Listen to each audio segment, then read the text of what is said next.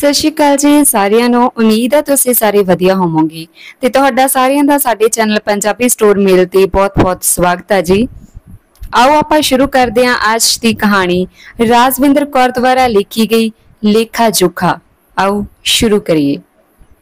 ਸਿਆਣੇ ਕਹਿੰਦੇ ਨੇ ਵੀ ਜਦੋਂ ਰੱਬ ਦੀ ਮਾਰ ਪੈਂਦੀ ਆ, ਤਾਂ ਉਹਦੀ ਲਾਠੀ ਦੀ ਆਵਾਜ਼ ਵੀ ਨਹੀਂ ਆਉਂਦੀ। ਪਰ ਇਹ ਗੱਲ ਇਨਸਾਨ ਅਖੌਤਾਂ ਵਿੱਚ ਹੀ ਸੁਣਦਾ ਜਾਂ ਸੁਣਾਉਂਦਾ। ਪਰ ਕਦੇ ਅਸਲ ਜ਼ਿੰਦਗੀ 'ਚ ਸੋਚ ਵਿਚਾਰ ਨਹੀਂ ਕਰਦਾ ਵੀ ਇਹ ਲਾਠੀ ਕਦੇ ਸਾਡੇ ਤੇ ਵੀ ਵਰ ਸਕਦੀ ਆ। ਕਹਿੰਦੇ ਮਾਪਿਆਂ ਦਾ ਚੰਗਾ ਮਾੜਾ ਕੀਤਾ, ਬੱਚਿਆਂ ਨੂੰ ਫਲ ਮਿਲਦਾ। ਚੰਗੇ ਕਰੋਗੇ ਤਾਂ ਬੱਚੇ ਸੁੱਖ ਭੋਗਣਗੇ, ਮਾੜਾ ਕਰੋਗੇ ਤਾਂ ਬੱਚਿਆਂ ਰਾਹੀਂ ਦੁੱਖ ਮਿਲਦੇ ਬੰਦੇ ਨੂੰ। ਇਹੀ ਗੱਲ ਮਿੰਦਰੋ ਨਾਲ ਹੋਈ। ਜਵਾਨੀ ਵਿੱਚ ਇਹਨੂੰ ਲੱਗਦਾ ਸੀ ਰੱਬ ਵੀ ਉਹਦੇ ਹੱਥ ਵਸ ਆ ਜਾ। ਉਹ ਜਿਵੇਂ ਚਾਵੇ ਉਵੇਂ ਹੀ ਸਭ ਹੋਣਾ। ਭਰੀ ਜਵਾਨੀ ਵਿੱਚ ਵਿਆਹੀ ਆਹੀ ਮਿੰਦਰੋ ਨੂੰ ਲੱਗਿਆ। ਜਵਾਨੀ ਖਬਰੇ ਸਾਰੀ ਜ਼ਿੰਦਗੀ ਐਦਾਂ ਹੀ ਬਣੀ ਤਨੀ ਰਹਿਣੀ ਆ। ਸਾਰੀ ਉਮਰ ਰੂਪ ਰੰਗ, ਖਬਰੇ ਐਦਾਂ ਹੀ ਠਾਠਾ ਮਾਰਦਾ ਰਹੂ। ਵਿਆਹੀ ਆਈ ਮਿੰਦਰੋ ਥੋੜੇ ਕੁ ਦਿਨਾਂ ਵਿੱਚ ਸੱਸ ਸਹੁਰੇ ਨੂੰ ਆਪਣੇ ਰੰਗ ਢੰਗ ਦਿਖਾਉਣ ਲੱਗੀ। ਭੋਲੀ ਭਾੜੀ ਸੱਸ ਤੇ ਪੂਰਾ ਰੋਬ ਜਮਾਉਂਦੀ। ਪੁਰਾਣੇ ਵੇਲਿਆਂ ਵਿੱਚ ਥੋੜੀ ਜ਼ਿਆਦਾ ਹੀ ਹਲਕੀ ਉਮਰ ਦੇ ਬੱਚੇ ਵਿਆਹੇ ਜਾਂਦੇ ਸੀ। ਮਿੰਦਰੋ ਦੇ ਘਰ ਵਾਲਾ ਪਾਲਾ ਕੋਈ ਬਾਲੀ ਉਮਰ ਦਾ ਨਹੀਂ ਸੀ, ਨਾ ਹੀ ਕੋਈ ਬਾਲੀ ਉੱਚੀ ਮੱਤ ਦਾ। ਬਸ ਸਾਫ਼ ਦਿਲ ਤੇ ਨੇਕ ਰੂ ਕੋਈ ਚਿੱਤਰ, ਚਲਾਕੀ ਨਹੀਂ ਕਰਨੀ ਆਉਂਦੀ ਸੀ ਪਾਲੇ ਨੂੰ। ਪਰ ਘਰ ਵਾਲੀ ਚਲਾਕਾਂ ਦੀ ਸਰਦਾਰਨੀ ਸੀ। ਮਿੰਦਰੋ ਘਰ ਦੀ ਵੱਡੀ ਨੂੰ ਸੀ, ਜਿਸ ਦੇ ਛੋਟੇ ਤਿੰਨ ਦਿਓਰ ਤੇ ਦੋ ਨਨਾਣਾ ਸੀ। ਮਿੰਦਰੋ ਦੀ ਸੱਸ, ਜਿਵੇਂ ਕੋਈ ਰੱਬੀ ਰੂਹ ਧਰਤੀ ਤੇ ਆਈ ਹੋਵੇ, ਕਦੇ ਉੱਚਾ ਨੀਮਾ ਨਾ ਬੋਲਦੀ, ਬਸ ਰੱਬ ਦੀ ਰਜ਼ਾ ਵਿੱਚ ਖੁਸ਼ ਰਹਿੰਦੀ। ਰਤਾ ਗੁੱਸਾ ਨਾ ਆਉਂਦਾ ਉਹਨੂੰ ਹਰ ਵੇਲੇ ਪਸ਼ੂਆਂ ਦੀ ਦੇਖਭਾਲ ਤੇ ਆਪਣੇ ਛੋਟੇ ਜਵਾਕਾਂ ਦੀ ਦੇਖਭਾਲ ਵਿੱਚ ਲੱਗੀ ਰਹਿੰਦੀ। ਖੇਤਾਂ ਵਿੱਚ ਮਿੱਟੀ ਨਾਲ ਮਿੱਟੀ ਹੋਈ, ਥੱਕ ਹਾਰ ਕੇ ਘਰੇ ਵੀ ਰੋਟੀ ਟੁੱਕ ਕਰਦੀ। ਮਿੰਦਰੋ ਨੂੰ ਆਪਣੇ ਰੰਗ ਰੂਪ ਨੂੰ ਸੰਭਾਲਣ ਤੇ ਸਵਾਰਨ ਤੋਂ ਵੇਲ ਨਾ ਮਿਲਦੀ। ਬਸ ਕਦੇ ਕਦਾਈ ਆਪਣੇ ਦਿਓਰ ਨਨਾਣਾ ਨੂੰ ਸਕੂਲੋਂ ਆਇਆ ਨੂੰ ਰੋਟੀ ਚਾਹ ਦੇ ਦਿੰਦੀ।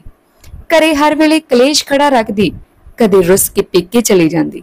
ਸਾਂਝੇ ਘਰੇ ਰਹਿੰਦਿਆਂ ਮਿੰਦਰੋ ਦੇ ਮੁੰਡਾ ਹੋਇਆ ਜਿਸ ਦੀ ਜਨਮ ਵੇਲੇ ਹੀ ਮੌਤ ਹੋ ਗਈ। ਕੁਝ ਕੁ ਸਮੇਂ ਬਾਅਦ ਨੂੰ ਮਿੰਦਰੋ ਆਪਣਾ ਭਾਂਡਾ ਟਿੰਡਾ ਅਲੱਗ ਕਰ, ਬਾਕੀ ਘਰਦਿਆਂ ਨਾਲੋਂ ਅਲੱਗ ਰਹਿਣ ਲੱਗੀ। ਘਰ ਤੋਂ ਥੋੜੀ ਦੂਰ ਹੋਰ ਗਲੀ ਵਿੱਚ ਮਕਾਨ ਲੈ ਕੇ ਨਵਾਂ ਘਰ, ਨਵਾਂ ਮਕਾਨ ਮਿੰਦਰੋ ਲਈ ਖੁਸ਼ੀਆਂ ਭਰਿਆ ਸਾਬਿਤ ਹੋਇਆ। ਜਿੱਤੇ ਮਿੰਦਰੋ ਦੇ ਘਰੇ ਧੀ ਨੇ ਜਨਮ ਲਿਆ ਤੇ ਫਿਰ ਕੁਝ ਕੁ ਸਾਲਾਂ ਬਾਅਦ ਮਿੰਦਰੋ ਦੇ ਘਰੇ ਤਿੰਨ ਪੁੱਤਰਾਂ ਦਾ ਵੀ ਜਨਮ ਹੋਇਆ। ਧੀਆਂ ਪੁੱਤਾਂ ਦੀ ਮਾਂ ਬਣ ਚੁੱਕੀ ਸੀ ਮਿੰਦਰੋ, ਪਰ ਕਹਿੰਦੇ ਆ ਬੰਦੇ ਦੀ ਮਤ ਕਦੋਂ ਹਿਲ ਜਾਣੀ ਕੋਈ ਪਤਾ ਨਹੀਂ। ਫਿਰ ਨਾ ਉਮਰ ਦੇਖਦੀ, ਨਾ ਰਿਸ਼ਤੇ। ਨਾਲ ਦੇ ਹੀ ਘਰ ਦੇ ਜਵਾਨ ਮੁੰਡੇ ਨਾਲ ਮਿੰਦਰੋ ਦੇ ਨੈਣ ਮਟੱਕੇ ਹੋਣ ਲੱਗੇ। ਹੌਲੀ-ਹੌਲੀ ਇਹ ਗੱਲ ਮਿੰਦਰੋ ਦੇ ਘਰ ਵਾਲੇ ਪਾਲੇ ਨੂੰ ਵੀ ਪਤਾ ਲੱਗ ਗਈ ਤੇ ਮਿੰਦਰੋ ਦੇ ਸਹੁਰੇ ਪਰਿਵਾਰ ਨੂੰ ਵੀ ਪਤਾ ਲੱਗ ਗਈ। ਪਰ ਜਿਨ੍ਹਾਂ ਤੇ ਇਸ਼ਕੇ ਦਾ ਭੂਤ ਸਵਾਰ ਹੋ ਜਾਣ, ਫਿਰ ਉਹ ਕਿਧਰੋਂ ਦੇਖਦੇ ਰਿਸ਼ਤੇ ਤੇ ਇੱਜ਼ਤਾਂ ਨੂੰ ਮੁੜ ਕੇ? ਮਿੰਦਰੋ ਨੇ ਆਪਣੇ ਬੱਚੇ ਪੂਰੇ ਕਹਿਣੇ ਵਿੱਚ ਕਰ ਰੱਖੇ ਸੀ। ਅਜੇ ਛੋਟੇ ਸੀ, ਇਸ ਲਈ ਉਹ ਬੋਲ ਵੀ ਨਹੀਂ ਸਕਦੇ ਸੀ। ਮਿੰਦਰੋ ਦੇ ਖਿਲਾਫ ਨਾ ਕੁਝ ਕਰ ਹੀ ਸਕਦੇ ਸੀ। ਮਿੰਦਰੋ ਨੇ ਆਪਣਾ ਦਾਵਤਵਾ ਪੂਰਾ ਆਪਣੇ ਪਰਿਵਾਰ ਘਰ ਤੇ ਬਣਾ ਕੇ ਰੱਖਿਆ ਹੋਇਆ ਸੀ। ਉਹਦੇ ਖਿਲਾਫ ਕੁਝ ਵੀ ਬੋਲਣ ਦੀ ਕੋਈ ਹਿੰਮਤ ਨਹੀਂ ਕਰਦਾ। ਸਹੁਰਾ ਪਰਿਵਾਰ ਕੁਝ ਬੋਲਦਾ, ਇਹ ਤੇ ਗੱਲ ਬੜੀ ਦੂਰ ਦੀ ਸੀ। ਮਿੰਦਰੋ ਦੇ ਘਰ ਵਾਲਾ ਵੀ ਕੁਝ ਨਾ ਬੋਲਣ ਜੋਗਾ। ਜੇਕਰ ਕੁਝ ਬੋਲਦਾ ਵੀ ਤਾਂ ਉਹ ਡਰਾਵੇ ਦਿੰਦੀ, ਮਾਰਨੇ ਦੀ, ਛੱਡ ਕੇ ਚਲੇ ਜਾਣ ਦੀ। ਤੇ ਪਾਲਾ ਕੁਝ ਵੀ ਨਾ ਕਹਿੰਦਾ। ਮਿੰਦਰੋ ਤੇ ਜੈਲੇ ਦੇ ਕਿਸੇ ਸਾਰੇ ਪਿੰਡ ਵਿੱਚ ਮਸ਼ਹੂਰ ਹੋ ਗਏ। ਪਰ ਕਹਿ ਕੋਈ ਵੀ ਨਾ ਸਕਦਾ ਸੀ ਕੁਝ ਕਿਉਂਕਿ ਲੁੱਚੇ ਬੰਦਿਆਂ ਤੋਂ ਸਾਰੇ ਡਰਦੇ ਹੁੰਦੇ। ਇਹੋ ਬੰਦੇ ਬਸ ਦੋ ਬੋਲ ਹੀ ਬੋਲਣੇ ਹੁੰਦੇ ਆ ਤੇ ਬਸ ਉਹਨਾਂ ਨਾਲ ਹੀ ਇੱਜ਼ਤਦਾਰ ਬੰਦੇ ਦੀ ਇੱਜ਼ਤ ਤਾਰ-ਤਾਰ ਕਰ ਦੇਣੀ ਹੁੰਦੀ। ਮਿੰਦਰੋ ਨੇ ਆਪਣੇ ਸਹੁਰੇ ਪਰਿਵਾਰ ਨਾਲੋਂ ਚੰਗੀ ਤਰ੍ਹਾਂ ਮੂੰਹ ਮੁਲਾਜ਼ਮ ਮੁਕਾ ਲਏ ਸੀ ਤੇ ਨਾ ਹੀ ਆਪਣੇ ਬੱਚਿਆਂ ਨੂੰ ਤੇ ਨਾ ਹੀ ਪਾਲੇ ਨੂੰ ਉਹਨਾਂ ਨਾਲ ਮਿਲਣ ਦਿੰਦੀ। ਜੈਲੇ ਦਾ ਹੌਲੀ-ਹੌਲੀ ਮਿੰਦਰੋ ਦੇ ਘਰੇ ਆਉਣਾ ਜਾਣਾ ਵੱਧ ਗਿਆ। ਗੁਜ਼ਰਿਆ ਹੋਇਆ ਰਿਸ਼ਤਾ ਹੁਣ ਸ਼ਰਿਆਮ ਹੋ ਗਿਆ। ਇਹ ਗੱਲਾਂ ਹੌਲੀ-ਹੌਲੀ ਪਾਲੇ ਨੂੰ ਅੰਦਰੋਂ ਅੰਦਰੀ ਖਾਣ ਲੱਗੀਆਂ। ਕਰਦਾ ਵੀ ਕੀ? ਬੱਚਿਆਂ ਦੇ ਮੂੰਹ ਨੂੰ ਤੇ ਕੁਝ ਆਪਣੇ ਘਰਦਿਆਂ ਤੋਂ ਵੱਖ ਹੋਣ ਦਾ ਦੁੱਖ ਜਿਵੇਂ ਪਾਲੇ ਦੇ ਅੰਦਰ ਹੀ ਘਰ ਕਰ ਗਿਆ। ਪਾਲਾ ਬਿਮਾਰ ਰਹਿਣ ਲੱਗਾ। ਨਿਆਣੇ ਵੀ ਥੋੜੇ ਵੱਡੇ ਹੋਣ ਲੱਗੇ। ਉਹਨਾਂ ਨੂੰ ਵੀ ਹੁਣ ਸਮਝ ਆਉਣ ਲੱਗੀ ਸੀ ਆਪਣੀ ਮਾਂ ਦੀ ਲੱਛਣਾਂ ਦੀ। ਪਾਲੇ ਦੀ ਸਿਹਤ ਜ਼ਿਆਦਾ ਖਰਾਬ ਰਹਿਣ ਲੱਗੀ। ਪਾਲੇ ਦੇ ਪਰਿਵਾਰ ਨੂੰ ਵੀ ਆਗਿਆ ਨਹੀਂ ਸੀ ਕਿ ਉਹ ਪਾਲੇ ਨੂੰ ਮਿਲ ਸਕਣ। ਪਾਲੇ ਦੀਆਂ ਭੈਣਾਂ ਕਦੇ-ਕਦਾਈ ਮਿਲਣ ਸਹੁਰੇ ਘਰੋਂ ਆ ਜਾਂਦੀਆਂ ਸੀ। ਪਾਲੇ ਦੀ ਛੋਟੀ ਭੈਣ ਮਿਲਣ ਆਈ ਹੋਈ ਤਾਂ ਮਿੰਦਰੋ ਸਾਰਾ ਦਿਨ ਬਸ ਕਲੇਸ਼ ਕਰਦੀ ਰਹੀ। ਬੋਲਦੀ ਕਦੇ ਕਮਰੇ ਦੇ ਅੰਦਰ ਜਾਂ ਵੜਦੀ, ਕਦੇ ਬਾਹਰ ਆ ਜਾਂਦੀ। ਨਾ ਆਈ ਹੋਈ ਭੈਣ ਨੂੰ ਚਾਹ ਦਾ ਘੁੱਟ, ਨਾ ਪਾਣੀ ਦਾ। ਕਿੰਨਾ ਤੜਫਦਾ ਹੋਣਾ ਭੈਣ ਦਾ ਦਿਲ, ਭਰਾ ਦੀ ਹਾਲਤ ਦੇਖਦੇ। ਬੇਵਸ ਭਰਾ ਵੀ ਕਿੰਨਾ ਦੁਖੀ ਹੋਣਾ। ਭੈਣ ਦੀ ਆਈ ਤੇ ਕੁੱਤ ਕਲੇਸ਼ ਬੰਦ ਨਾ ਹੋਇਆ। ਥੋੜੇ ਕੁ ਟਾਈਮ ਬਾਅਦ ਹੀ ਪਾਲੇ ਦੀ ਮੌਤ ਹੋ ਗਈ, ਪਰ ਮਿੰਦਰੋ ਨੂੰ ਕੋਈ ਖਾਸ ਫ਼ਰਕ ਨਾ ਪਿਆ, ਕਿਉਂਕਿ ਉਹ ਆਪਣੇ ਘਰ ਵਾਲਾ ਜੈਲੇ ਨੂੰ ਹੀ ਮੰਨਦੀ ਸੀ। ਪਾਲਾ ਤਾਂ ਬਸ ਇੱਕ ਨਾਮ ਦਾ ਪਤੀ ਸੀ, ਜਾਂ ਫਿਰ ਕਹਿ ਲਵੋ ਹਾਰ ਸ਼ਿੰਗਾਰ ਲਗਾਉਣ ਦਾ ਸਜਣੇ ਤਜਣੇ ਦਾ ਬਹਾਨਾ। ਪਾਲੇ ਦੀ ਮੌਤ ਨਾਲ ਫ਼ਰਕ ਪਿਆ ਤਾਂ ਉਹਦੇ ਮਾਪਿਓ ਭੈਣ ਭਰਾਵਾਂ ਨੂੰ, ਜਾਂ ਫਿਰ ਪਾਲੇ ਦੇ ਬੱਚਿਆਂ ਨੂੰ, ਜਿਹੜੇ 14-15 ਸਾਲ ਦੀ ਉਮਰ ਤੱਕ ਪਹੁੰਚ ਚੁੱਕੇ ਸੀ। ਮਿੰਦਰੋ ਦੀ ਧੀ ਮੁਟਿਆਰ ਹੋ ਰਹੀ ਸੀ ਤੇ ਸਬਲ ਸਮਝ ਵੀ ਰਹੀ ਸੀ ਤੇ ਹੁਣ ਉਹ ਆਪਣੀ ਮਾਂ ਨੂੰ ਸਵਾਲ ਜਵਾਬ ਵੀ ਕਰਨ ਲੱਗ ਗਈ ਸੀ। ਪਰ ਉਹ ਧੀ ਜਾਤ ਸੀ ਨਾ, ਇਸ ਲਈ ਮਿੰਦਰੋ ਉਹਨੂੰ ਡਰਾ ਧਮਕਾ ਕੇ ਰੱਖਣ ਲੱਗ ਗਈ। ਮੁੰਡੇ ਵੀ ਜਦੋਂ ਥੋੜੇ ਜੇ ਵੱਡੇ ਹੋਏ, ਉਹ ਵੀ ਮਾਂ ਨੂੰ ਸਵਾਲ ਕਰਨ ਲੱਗੇ ਕਿ ਇੱਕ ਪਰਾਇਆ ਮਰਦ ਸਾਡੇ ਘਰੇ ਕਿਉਂ ਆਉਂਦਾ ਹੈ? ਮੁੰਡਿਆਂ ਨੂੰ ਜੈਲਾ ਪਿਓ ਵਾਂਗ ਰੋਪ ਪਾ ਕੇ ਚੁੱਪ ਕਰਾ ਦਿੰਦਾ। ਮਿੰਦਰੋ ਨੇ ਜੈਲੇ ਦਾ ਘਰ ਤਾਂ ਕਦੇ ਵਸਣ ਹੀ ਨਹੀਂ ਦਿੱਤਾ, ਨਾ ਜੈਲੇ ਨੇ ਕਦੇ ਵਿਆਹ ਕਰਾਇਆ ਹੀ। ਤੇ ਜੈਲੇ ਦੇ ਛੋਟੇ ਭਰਾ ਦਾ ਵਸਿਆ ਵਸਾਇਆ ਘਰ ਵੀ ਪੱਟ ਦਿੱਤਾ। ਜੈਲੇ ਦੀਆਂ ਭੈਣਾਂ ਦੇ ਤਲਾਕ ਤੱਕ ਕਰਵਾ ਦਿੱਤੇ। ਇਸ ਹੱਦ ਤੱਕ ਜੈਲੇ ਨੂੰ ਆਪਣੇ ਕਹਿਣੇ ਵਿੱਚ ਕਰ ਰੱਖਿਆ ਸੀ। ਮਿੰਦਰੋ ਨੇ ਕੀ ਕਹਿੰਦਾ ਹੋਵੇਗਾ? ਉਸ ਮਾਂ ਦਾ ਦਿਲ, ਜਿਸ ਦਾ ਜਵਾਨ ਪੁੱਤ ਚਾਰ ਬੱਚਿਆਂ ਵਾਲੀ ਮਾਂ ਦੇ ਨਾਲ ਰਹਿਣ ਲੱਗਿਆ, ਜਿਸ ਦੇ ਇੱਕ ਪੁੱਤ ਦਾ ਵਸਿਆ ਵਸਾਇਆ ਘਰ ਪੱਟਿਆ ਗਿਆ ਤੇ ਧੀਆਂ ਘਰੋਂ ਬੇਘਰ ਹੋ ਗਈਆਂ ਤੇ ਮੁੜ ਪੇਕੇ ਆਣ ਰਹਿਣ ਲੱਗੀਆਂ। ਬਹੁਤ ਬਦਦੁਆਵਾਂ ਦੁ ਅਸੀਸਾਂ ਦਿੰਦਾ ਹੋਣਾ। ਉਹ ਮਾਂ ਦਾ ਦਿਲ, ਮਿੰਦਰੋ ਨੂੰ। ਉਸ ਮਾਂ ਦੇ ਢਿੱਡ ਦਾ ਦੁੱਖ ਦਰਦ ਬਸ ਇਹ ਮਾਂ ਹੀ ਜਾਣਦੀ ਸੀ, ਜਾਂ ਫਿਰ ਪਾਲੇ ਦੀ ਮਾਂ। ਕੀ ਅਰਦਾਸਾਂ ਕਰਦੇ ਹੋਣੇ ਉਹਨਾਂ ਦੇ ਭੈਣਾਂ ਦੇ ਦਿਲ, ਜਿਨ੍ਹਾਂ ਦਾ ਕੁਵਾਰਾ ਭਰਾ ਇੱਕ ਡਾਇਨ ਨੇ ਆਪਣੇ ਮਗਰ ਲਗਾ ਰੱਖਿਆ ਸੀ? ਕਿੰਨੇ ਹੀ ਦਿਲ ਮਿੰਦਰੋ ਨੂੰ ਬਦਦੁਆਵਾਂ ਦਿੰਦੇ ਹੋਣੇ। ਪਰ ਮਿੰਦਰੋ ਨੂੰ ਕਿਸੇ ਦੀਆਂ ਦਿੱਤੀਆਂ ਬਦਦੁਆਵਾਂ ਦੀ ਜਾਂ ਕਿਸੇ ਦੀ ਵੀ ਕੋਈ ਪਰਵਾਹ ਨਹੀਂ ਸੀ। ਜਿਵੇਂ ਜਿਵੇਂ ਉਮਰ ਹੁੰਦੀ ਗਈ ਮਿੰਦਰੋ ਹੋਰ ਨਿਖਰਦੀ ਗਈ, ਹਾਰ ਸ਼ਿੰਗਾਰ ਵਧਦੇ ਗਏ ਘਰ ਵਿੱਚ ਜੋਰ, ਅਜ਼ਮਾਇਸ਼ ਕਰਦੀ ਹੋਈ ਪ੍ਰਧਾਨਗੀ ਕਰਦੀ ਹੋਈ ਮਿੰਦਰੋ ਹੌਲੀ-ਹੌਲੀ ਪਿੰਡ ਉੱਤੇ ਵੀ ਆਪਣੀ ਪ੍ਰਧਾਨਗੀ ਥੋਪਣ ਲੱਗੀ। ਛੇਤੀ ਮਿੰਦਰੋ ਪੰਚੀ ਸਰਪੰਚੀ ਵਿੱਚ ਆਪਣੀ ਪੈਂਟ ਬਿਠਾਉਣ ਲੱਗੀ। ਹੌਲੀ-ਹੌਲੀ ਮਿੰਦਰੋ ਦੀ ਸਿਆਸੀ ਲੀਡਰਾਂ ਪਾਰਟੀ ਦੇ ਮੈਂਬਰਾਂ ਨਾਲ ਉੱਠਣੀ ਬਹਿਣੀ ਸ਼ੁਰੂ ਹੋ ਗਈ। ਦਬਕਾ ਤਾਂ ਉਹਦਾ ਪੂਰੇ ਪਿੰਡ 'ਚ ਚੱਲਦਾ ਸੀ। ਗੱਲਬਾਤ ਬਾਲੀ ਆਉਂਦੀ ਸੀ ਉਹਨੂੰ ਕਰਨੇ। ਇਹਨਾਂ ਦਾ ਤੇ ਬਸ ਉਹ ਹਿਸਾਬ ਸੀ। ਲੁੱਚਾ ਲੰਡਾ ਚੌਧਰੀ ਤੇ ਗੁੰਡੀ ਰਨ ਪ੍ਰਧਾਨ। ਸਭ ਡਰਦੇ ਜੋ ਸੀ। ਜਦੋਂ ਮਿੰਦਰੋ ਦਾ ਛੋਟਾ ਮੁੰਡਾ 15-16 ਸਾਲਾਂ ਦਾ ਹੋ ਗਿਆ, ਤਾਂ ਉਹਦੀ ਸਿਹਤ ਇੱਕਦਮ ਖਰਾਬ ਰਹਿਣ ਲੱਗੀ। ਛੋਟੇ ਮੁੰਡੇ ਨੂੰ ਮਿਰਗੀ ਦੇ ਦੌਰੇ ਪੈਣੇ ਸ਼ੁਰੂ ਹੋ ਗਏ। ਘਰ ਦਾ ਛੋਟਾ ਬੱਚਾ ਸੀ। ਮਿੰਦਰੋ ਦਾ ਲਾਡਲਾ ਵੀ। ਜਾਂ ਕਹਿ ਲਓ ਜਿਸ ਬੱਚੇ ਵਿੱਚ ਜਾਨ ਵਸਦੀ ਹੋਵੇ, ਮਾਂ ਦੀ, ਇਹ ਉਹੀ ਬੱਚਾ ਸੀ। ਹੌਲੀ-ਹੌਲੀ ਬਿਮਾਰੀ ਵਧਦੀ ਗਈ ਜਿਵੇਂ ਜਿਵੇਂ ਮੁੰਡਾ ਜਵਾਨ ਹੁੰਦਾ ਗਿਆ। ਉਵੇਂ ਉਵੇਂ ਦੌਰੇ ਵਾਤੇ ਗਏ। ਮਿੰਦਰੋ ਨੇ ਆਸੇ-ਪਾਸੇ ਦਾ ਪਿੰਡ ਸ਼ਹਿਰ ਦਾ ਕੋਈ ਹਸਪਤਾਲ ਨਹੀਂ ਛੱਡਿਆ, ਜਿੱਥੇ ਆਪਣੇ ਮੁੰਡੇ ਦਾ ਇਲਾਜ ਨਾ ਕਰਵਾ ਕੇ ਦੇਖਿਆ ਹੋਵੇ। ਕੀ ਪਤਾ ਕਿਤੇ ਨਾ ਕਿਤੇ ਮਿੰਦਰੋ ਨੂੰ ਦੋ ਮਾਵਾਂ ਦੀਆਂ ਬਦਦੁਆਵਾਂ ਲੱਗ ਰਹੀਆਂ ਸੀ। ਕਿਵੇਂ ਦੋ ਮਾਵਾਂ ਦੇ ਪੁੱਤਾਂ ਨੂੰ ਉਹਨਾਂ ਕੋਲੋਂ ਵੱਖ ਕਰਕੇ ਢਿੱਡ ਤੜਫਾਈ ਸੀ ਉਹਨਾਂ ਮਾਵਾਂ ਦੇ। ਕਿਤੇ ਨਾ ਕਿਤੇ ਦੋ ਭਰਾਵਾਂ ਦੀਆਂ ਭੈਣਾਂ ਦੀਆਂ ਦਿੱਤੀਆਂ ਬਦਦੁਆਵਾਂ ਅਸਰ ਦਿਖਾ ਰਹੀਆਂ ਸੀ। 25 26 ਸਾਲ ਬੀਤ ਗਏ ਮੁੰਡੇ ਨੂੰ ਬਿਮਾਰ ਹੋਇਆ। ਮਿੰਦਰੋ ਦੀ ਵੀ ਰਹਿਦੀ ਉਮਰ ਮੁੰਡੇ ਨੂੰ ਕਦੇ ਕਿਸੇ ਹਸਪਤਾਲ ਦੇ ਚੱਕਰ ਤੇ ਕਦੇ ਕਿਤੇ ਲੈ ਕੇ ਫਿਰਦੀ ਰਹਿ ਬੀਤੀ ਗਈ। ਪਰ ਮੁੰਡੇ ਨੂੰ ਆਰਾਮ ਨਾ ਆਇਆ। ਗੁਰੂ ਘਰ 'ਚ ਸੁਖੀਆਂ ਸੁੱਖਾਂ ਵੀ ਕਬੂਲ ਨਾ ਹੋਈਆਂ। ਮੁੰਡੇ ਦਾ ਖਾਣਾ ਪੀਣਾ ਨਹਾਉਣਾ ਸਭ ਮਿੰਦਰੋ ਤੇ ਨਿਰਭਰ ਸੀ।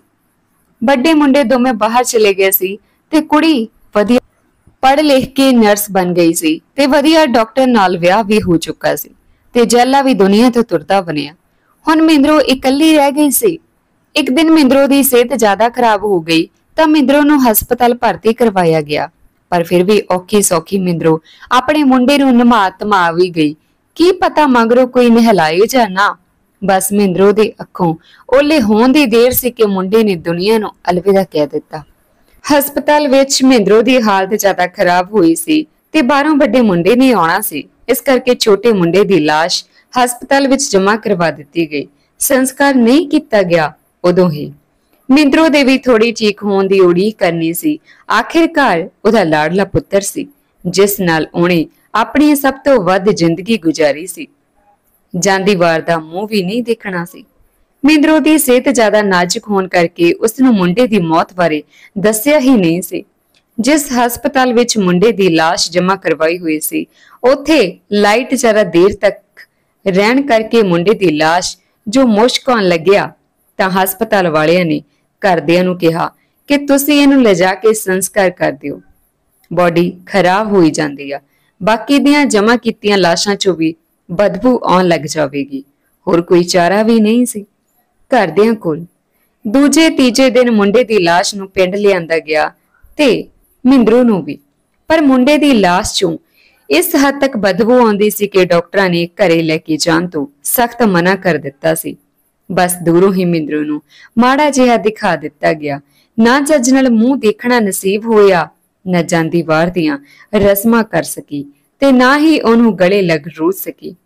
ਮਿੰਦਰੂ ਦੀਆਂ ਕੀਤੀਆਂ ਨੇ ਮੁੰਡੇ ਦੀ ਜ਼ਿੰਦਗੀ ਤਾਂ ਖਰਾਬ ਕੀਤੀ ਹੀ ਸੀ, ਮਰਨ ਵੀ ਖਰਾਬ ਕਰ ਦਿੱਤਾ। ਉਹੀ ਲਾਡਾ ਚਾਮਾ ਨਾਲ ਪਾਲਿਆ ਪੁੱਤ। ਬਿਨਾ ਮੂੰਹ ਦੇਖੇ ਹੀ ਮੜੀਆਂ ਵਿੱਚ ਤੋੜ ਦਿੱਤਾ ਫੂਕ ਹੋਣੇ ਨੂੰ। ਮਾਮਾ ਦੀਆਂ ਕਲੇਜੇ ਤਪਾ ਤਪਾ ਲਈਆਂ, ਜੋ ਹਵਾ ਸ਼ਾਇਦ ਮਿੰਦਰੋ ਨੂੰ ਲੱਗ ਗਈਆਂ ਸੀ। ਦੁੱਖ ਦੀ ਗੱਲ ਇਹ ਕਿ ਮਿੰਦਰੋ ਨੂੰ ਉਹਦੇ ਕੀਤੇ ਮਾੜੇ ਕਰਮਾਂ ਦੀ ਸਜ਼ਾ ਉਸ ਦੀ ਪਿਆਰੀ ਔਲਾਦ ਰਾਹੀਂ ਮਿਲੀ। ਜਿਸ ਔਲਾਦ ਦਾ ਕੋਈ ਕਸੂਰ ਵੀ ਨਹੀਂ ਸੀ, ਉਹ ਆਪਣੀ ਜ਼ਿੰਦਗੀ ਦੇ 30 ਤੋਂ ਵੀ ਵੱਧ ਸਾਲ ਦਰਦ, ਦੁੱਖ, ਅਸਹਿ ਪੀੜਾ ਨਾਲ ਗੁਜ਼ਾਰ ਕੇ ਗਿਆ। ਦੁੱਖ ਦੀ ਗੱਲ ਇਹ ਵੀ ਮਿੰਦਰੋ ਨੂੰ ਉਹਦੇ ਕੀਤੇ ਦੀ ਸਜ਼ਾ ਉਦੋਂ ਤੱਕ ਮਿਲੀ, ਜਦੋਂ ਤੱਕ ਦੁੱਖਾਂ ਵਿੱਚ ਤਪਦੇ ਦਿਲ ਢਿੱਡ ਕਲੇਚੇ ਦੁਨੀਆ ਤੋਂ ਤੁਰ ਗਏ ਸੀ। ਜੈਲੇ ਦੀ ਮਾਂ, ਮਿੰਦਰੋ ਦੀ ਸੱਸ ਸਹੁਰਾ ਤੇ ਮਿੰਦਰੋ ਦਾ ਘਰ ਵਾਲਾ ਪਾਲਾ। ਉਹਨਾਂ ਨੇ ਤਾਂ ਸਜ਼ਾ ਮਿਲਦੀ ਦੇਖੀ ਨਹੀਂ, ਰੱਬ ਸਜ਼ਾ ਦਿੰਦਾ, ਦੇਰ ਕਰ ਦਿੰਦਾ। ਉਦੋਂ ਤੱਕ ਪਤਾ ਨਹੀਂ ਤੜਫਦੇ ਹੋਏ ਦਿਲ ਕਿੰਨੇ ਸਿਵਿਆਂ ਵਿੱਚ ਸਵਾਹ ਹੋ ਜਾਂਦੇ ਨੇ। ਸਜ਼ਾ ਮਿੰਦਰੋ ਨੂੰ ਨਹੀਂ, ਉਸ ਬੱਚੇ ਨੂੰ ਮਿਲੀ ਜਿਹੜਾ ਹਰ ਦਿਨ ਹਰ ਪਲ ਪੀੜ ਵਿੱਚ ਗੁਜ਼ਰਦਾ ਸੀ। ਸ਼ਾਇਦ ਉਹ ਵੀ ਰੱਬ ਨੂੰ ਪੁੱਛਦਾ ਹੋਵੇਗਾ, ਆਖਿਰ ਮੈਂ ਕੀ ਮਾੜਾ ਕੀਤਾ? ਮੇਰਾ ਜੀ ਕਸੂਰ ਕੀ ਸੀ? ਜਿਹੜਾ ਇੰਨੀ ਦਰਦ ਭਰੀ ਜ਼ਿੰਦਗੀ ਦਿੱਤੀ। ਕਸੂਰ ਬਸ ਉਸ ਦਾ ਇਹੀ ਸੀ ਕਿ ਉਹ ਮਿੰਦਰੋ ਦੀ ਔਲਾਦ ਸੀ। ਐਨੀ ਘੱਟ ਉਮਰ ਵਿੱਚ ਜਿਹੜਾ ਲਾਇਲਾਜ ਬਿਮਾਰੀ ਲੱਗ ਗਈ, ਉਹਨੂੰ ਅਣਜਾਣ ਨੂੰ ਕੀ ਪਤਾ ਵੀ ਉਹਦੀ ਮਾਂ ਦੇ ਕਿਤੇ ਕਰਮਾਂ ਦਾ ਫਲ ਉਹਨੂੰ ਸਜ਼ਾ ਦੇ ਰੂਪ 'ਚ ਮਿਲ ਰਿਹਾ। ਕਦੇ ਵੀ ਕਿਸੇ ਮਾਂ ਦਾ ਢਿੱਡ ਨਾ ਤੜਫਾਇਓ। ਕਦੇ ਕਿਸੇ ਭੈਣ ਭਰਾ ਦੀਆਂ ਬਦਦੁਆਵਾਂ ਨਾ ਲਓ। ਕਦੇ ਕਿਸੇ ਦੇ ਬੱਚੇ ਦੀ ਜ਼ਿੰਦਗੀ ਨਾਲ ਨਾ ਖੇਡੋ। ਕਦੇ ਕਿਸੇ ਦਾ ਘਰ ਨਾ ਪੱਟੋ। ਕਦੇ ਵੀ ਇਸ ਬਹਿਮ ਭਰਮ ਵਿੱਚ ਨਾ ਰਹੋ ਕਿ ਅਸੀਂ ਜੋ ਵੀ ਕਰ ਰਹੇ ਹਾਂ, ਰੱਬ ਸਾਡਾ ਕੁਝ ਨਹੀਂ ਵਿਗਾੜ ਰਿਹਾ। ਇਹਦਾ ਮਤਲਬ ਅਸੀਂ ਸਹੀ ਚੱਲ ਰਹੇ ਹਾਂ। ਜਿਸ ਟਾਈਮ ਤੁਸੀਂ ਕਿਸੇ ਨਾਲ ਮਾੜਾ ਕਰ ਰਹੇ ਹੋ, ਤੁਹਾਡੇ ਨਾਲ ਫਿਰ ਵੀ ਚੰਗਾ ਹੁੰਦਾ ਆ। ਇਹ ਖੁਸ਼ ਹੋਣ ਵਾਲੀ ਗੱਲ ਨਹੀਂ ਹੁੰਦੀ। ਜੋ ਰੱਬ ਤੁਹਾਡੇ ਮਾੜੇ ਕਰਮਾਂ ਦੀ ਘੜੀ ਭਰਦੇ ਦੇਖ ਰਿਹਾ ਹੁੰਦਾ ਤੇ ਉਹਨਾਂ ਦਾ ਹਿਸਾਬ ਰੱਖ ਰਿਹਾ ਹੁੰਦਾ। ਕੁਝ ਲੋਕ ਦੂਜਿਆਂ ਨਾਲ ਜਾਂ ਕਿਸੇ ਦੀ ਔਲਾਦ ਨਾਲ ਮਾੜਾ ਕਰਦੇ ਰਹਿੰਦੇ ਨੇ ਤੇ ਰੱਬ ਨੂੰ ਧਿਆਉਂਦੇ ਨੇ ਵੀ ਰੱਬ ਨੇ ਸਜ਼ਾ ਨਹੀਂ ਦੇਣੀ। ਰੱਬ ਸਭ ਹਿਸਾਬ ਕਿਤਾਬ ਕਰੀ ਬੈਠਾ ਹੁੰਦਾ।